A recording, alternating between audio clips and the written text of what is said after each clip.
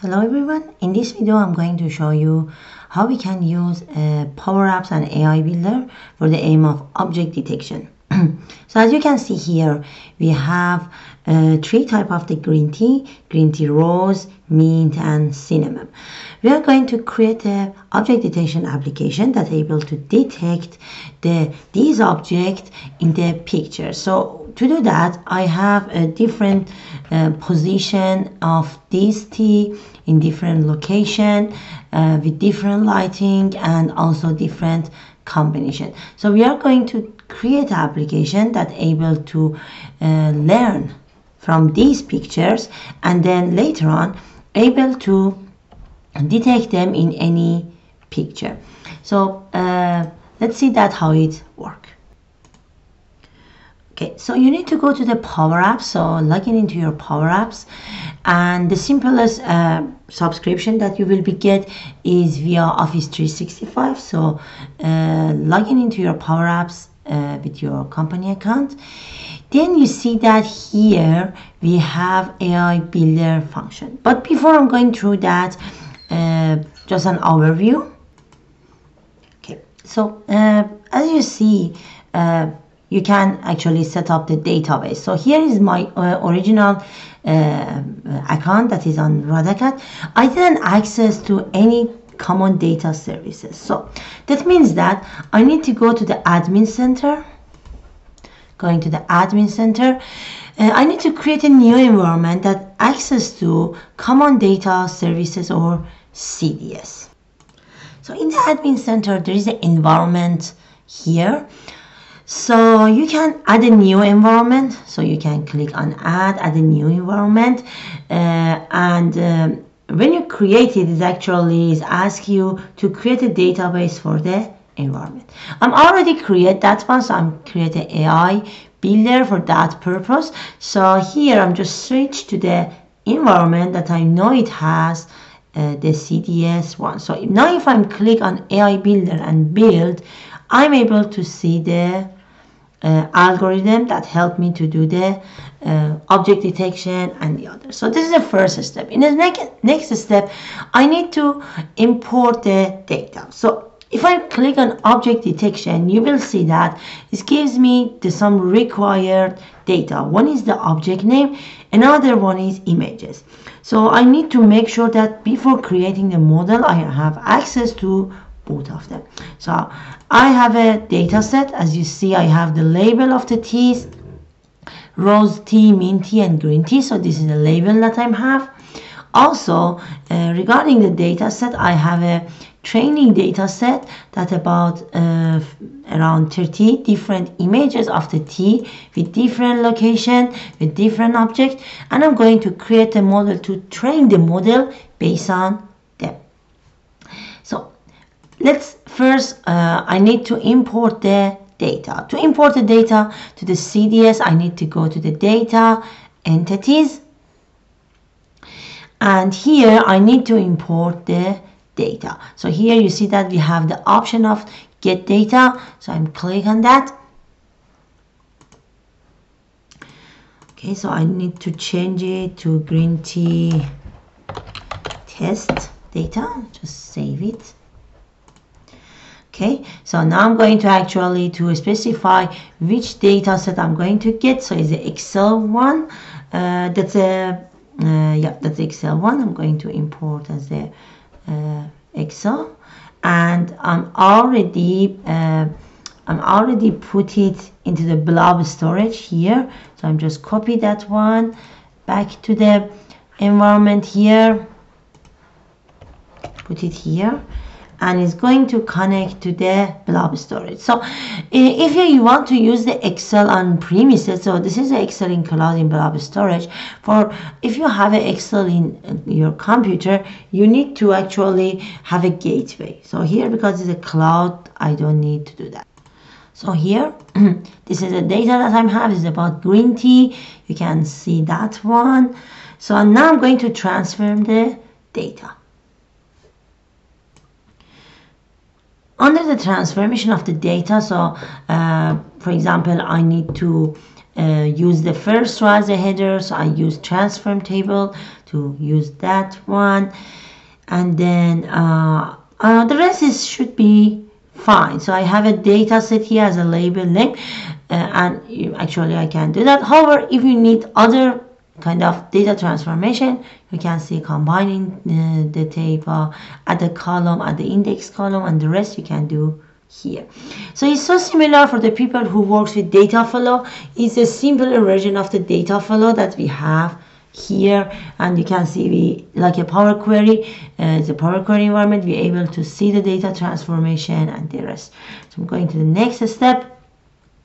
In the next step I need to do some mapping between what I have. So this is a this is not the existing one. This is a new one. So I said load to the new entity. Here I need to select what's the primary one that is the label. Uh, and it's provide me a message that it should be text label. So yep that's okay.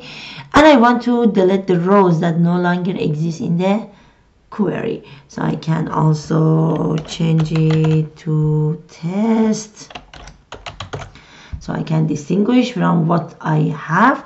So it should be fine now uh, if you have a, a, primary key you can specify here. Otherwise just click on next. Okay. So now he's asked us about refresh setting. So you can ask to refresh uh, automatically or you can ask refresh manually. So I use the refresh manually here and it's going to create a data set a, a data entity in uh, common data services it take a couple of minutes to create it. So you should see some information about creating entity and the process. And uh, is actually after that uh, the data will be loaded and we will see that how it actually work so once download you can see the status is complete and click on that. Now in the list you should probably see that one. So I just put a refresh. So as you see it's here. Green tea test is already imported. So now I did that one. I have the data set. I'm going to create to build my model. So click on object detection. I will put a name. So I'll send a Tea detection. And I'm going to create the model there are also some example here if you wish, uh, or you can create your own. Uh, so uh, it's really important that you have lots of pictures. As much as many picture you have, the model will be better. So here it is a process. So the first step is select object name, add image, tag image, and train the model. So here we need to select the object name or from that uh, the one that already imported into common data services. So here you see there are some hint here. Why do you need to select object name? You will use the name you selected as a tag, as a label your image. What if I don't, don't see my data? So it's actually it should be on common data services. So there are some help uh, in each step that help you to see that. To do that, uh, so I'm click on select object name you can also search for that so this is green tea one I need the field label and just select that so and I say that okay I need all of them so all of them has been actually selected and I'm going to the next step to add the image. So uh, that's why that actually because here we use common data services. In when you're using uh, this model inside uh, actually other uh, application like Microsoft Flow you need to actually to be in an environment that has solutions. So that's the main reason. So I'm going to add the image. So just I'll copy the place of my image here. Add I'm going to put the picture the uh, the train one here. So that's a one. I'm going to add all of the image for training. Upload 30 image here.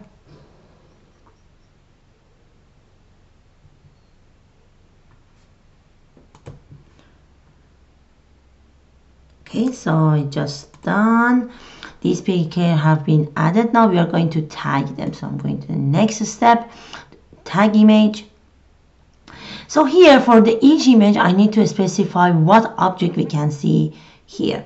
Uh, there are some important things that um, you must tag at least 15 images for each object. So that means that for example for uh, each uh, green tea rose I need to add at least 15 object there. So uh, that's really important. This does help? So adding more image may increase the performance and uh, can be help to get a better solution. So I'm clicking on the new under here click on that. So this is the picture that I have and I mentioned that this is green tea rose so I'm going to the next one uh, the other one that actually is this one. So again you can uh, simply select the environment here.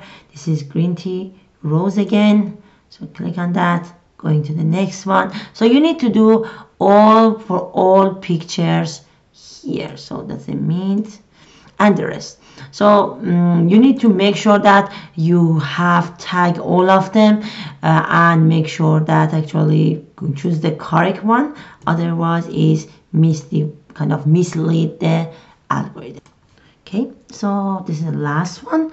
As you see if I'm click my mouse is actually able to identify the location but sometimes it's maybe not that much accurate. So for example like this so it's already included. So I need to specify the location myself. So just check all of them. So here is actually you can see that how we have so I'm done editing. And you can see the thing. So we have 15 uh, for green tea 17 for green tea mint and 17 for green tea roses. So I'm going to then so I'm already tag each image with a location. I'm going to the next step. In the next step you is actually is going to train your model. So you will see the message. Your model is training and it will take a while to actually uh, to train the model. While is actually is uh, creating the model. We can go and see the other models that we have here. So you see that the model that is training you will see the status that is training. Uh, there are some uh, some of them has the tag as live. So that means that they are able to be used in other but some of them not like this one is not live yet. So if you want to use it you need to actually to make uh, to make publish it. I will show you that how to do that. So this uh, as after that is finished so that means that it's uh, kind of the finish and is not anymore gray then you can publish your model. You're also able to click on that. So just wait till it's finishing the training. Okay. The model has been uh, created. I'm just going to the model and uh, you can test it. So you can click on here and uh, drag and do a test. So I'm going to get from test model. And it's going I'm these are the pictures that I didn't train. So I'm going to see that how it work for them. Uh, just couple of seconds take to identify. So green tea rose this one is not really good. And this green tea mint which is correct.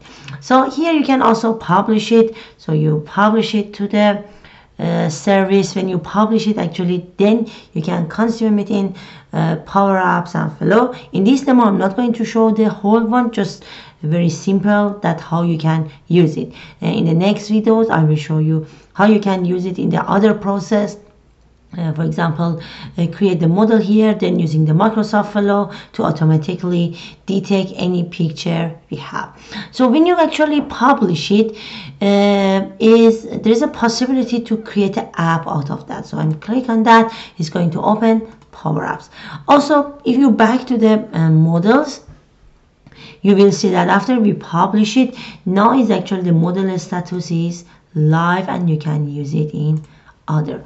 So here very simple one Tea detection. I put a name on the phone format and I'm create a simple application here to see that uh, if you wanted to use at the once how you can do that. So here so these are the power apps environment. Uh, if you go to the insert and to ai builder you will see we have the object uh, icon here. So when I click on that it's going to uh, bring the list of the object detector that I'm already created. And so and you can able to choose which object detector you want to use. So I have a Tea detection I use that one. And if I run it oh sorry I need first to bring the test and is able to kind of detect that. So you can then use any uh, most of the um, parameter that you have here. So this is green tea rose green tea mint and green tea cinnamon. Also if you're interested you can uh, add a label here to show or add a table here to show the result to see that how it actually work. So uh, that's a kind of the simple application you can create. In the other uh, videos hope so i wish i will show you that how you can create the application or using in microsoft flow. Thanks so much for watching this video. I hope you enjoy it and looking forward to other creating other video on ai builder and also ai in other in power bi and also in uh, azure one. Thanks so much